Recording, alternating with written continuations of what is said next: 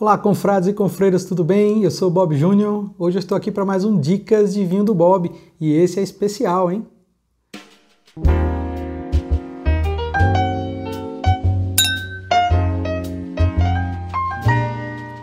Nobres confrades e confreiras, tudo bem? Hoje aqui para um Dicas de Vinho do Bob muito especial. São vinhos até 40 reais. Eu trouxe 10 vinhos, tá? Muito bacana o vídeo de hoje, mas se você quiser aprender sobre vinhos de forma simples, de forma fácil, você se inscreve aqui no canal, se inscreve, é muito importante pra gente, tá? E também já deixa teu like aqui no vídeo, com frade e com freira. Bob Júnior, vamos nessa? Vamos nessa, gente. Antes eu vou explicar uma coisa para vocês, tá? São 10 vinhos aqui que eu trouxe, eu provei vinho pra caramba. Eu provei, posso dizer seguramente aí, eu provei quase 40 vinhos, tá? E assim, são vinhos que para quem está iniciando no mundo do vinho, para quem está começando, são vinhos fáceis de beber, tá? Como eu já falei em outro vídeo, tem alta bebabilidade, né? Tem uma boa drinkability, né? São vinhos fáceis de beber, com taninos macios, com fruta, equilibrados, boa acidez. Para quem já é, é, experiente no mundo do vinho, pode agregar esse, esses vinhos aí no teu dia a dia. É um bom vinho para um meio de semana, é um bom vinho aí para você manter-se tomando vinho com frequência, para mim vale a pena. Eu tomo, tomo esses vinhos aí também no meu dia a dia, tá? E vou trazer aqui para vocês. Gente, vamos começar, tá? Começar aqui, número 1 um, é um miolo seleção Chardonnay com Viognier, tá, gente? Da campanha gaúcha. Vou mostrar aqui nessa outra câmera o rótulo. Miolo seleção Chardonnay com Viognier. Gente, muito legal.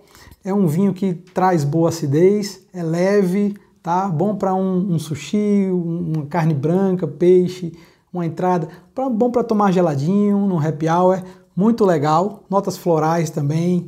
Muito bacana, eu gostei, tá? Traz a característica aí das duas castas de uma forma muito simples, tá? E é um vinho equilibrado, eu gostei bastante, tá? É isso aí, gente, foi o número um, Miolo, Seleção, Chardonnay, Viognier. Vamos para o segundo, outro vinho branco, tá? Aurora Reserva Chardonnay. Olha que legal aqui o rótulo aqui na outra câmera, vou mostrar aqui para vocês. Rótulo preto, é muito bonita essa garrafa, uma garrafa borgonha. Tá? Esse vinho já traz um pouco mais aqui de complexidade, ele é fermentado, a, a, a, fermentação malolática dele é feita em barris de carvalho, né, em madeira, então ele traz notas cremosas, notas amanteigadas, uma nota de chocolate branco, muito bacana esse Chardonnay, tá? Corpo médio, ele, ele pode aí harmonizar com pratos um pouco mais encorpados aí, uma empada de frango, um empadão de frango vai muito bem, um estrogonofe de frango vai muito legal. Ele, ele aceita aí é, uma harmonização um pouco mais intensa do que o miolo seleção vinho 1 aqui da lista, tá gente? Vamos nessa aqui. Próximo vinho, gente, a gente vai para a Argentina, tá? Um tinto aqui, um Malbec, Nieto Senetiner, Benjamin, tá? É o Benjamin Malbec tá? 2020. Gente, 2020 foi uma boa safra no todo o Cone Sul, né? Toda a América do Sul. E esse vinho traz uma, uma, fruta negra fresca, muito legal. Ele tem um estágio breve de dois meses em barrica de carvalho e traz aí algumas características aí de, de, de nota tostada, uma leve baunilhazinha aqui, muito bacana, um vinho equilibrado.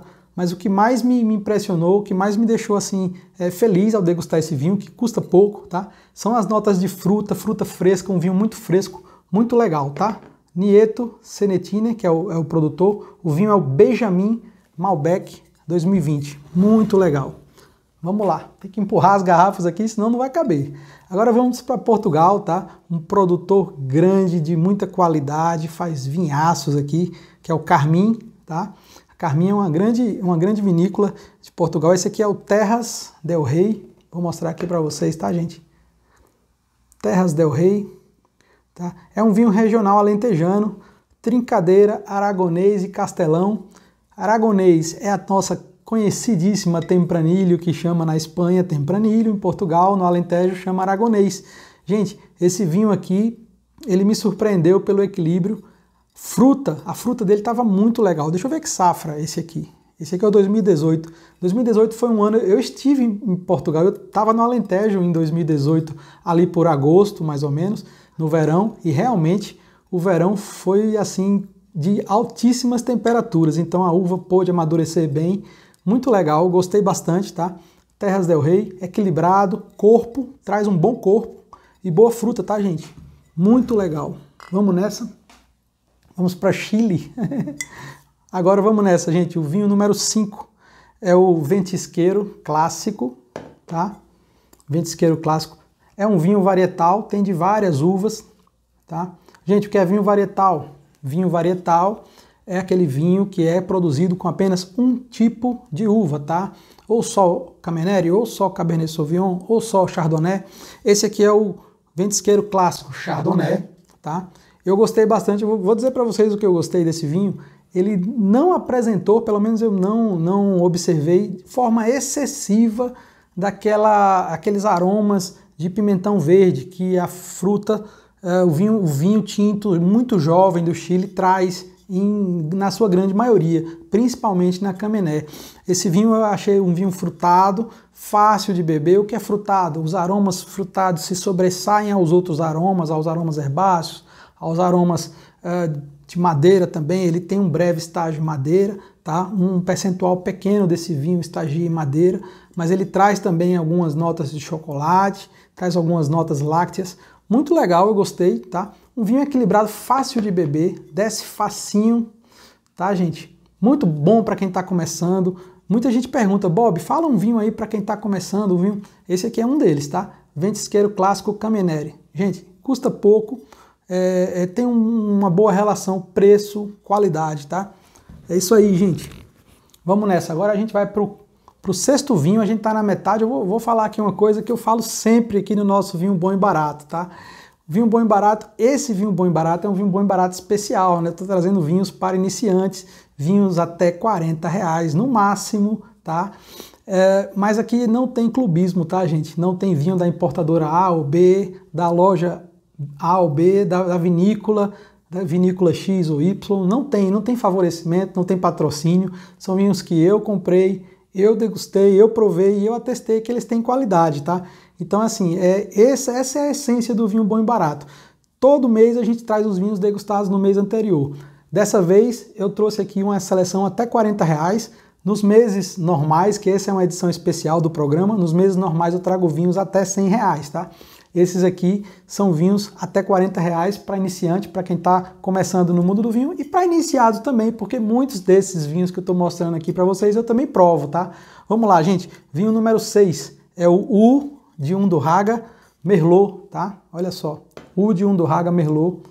Gente, um vinho muito Merlot. O que, é que, eu quero, o que é que eu quero dizer com isso? Um vinho muito Merlot. Ele traz bem as características da, da varietal, as características da Merlot, fruta vermelha, tá? Tanino é, bem equilibrado, macio. Foi um vinho que eu coloquei um pouquinho no decanter.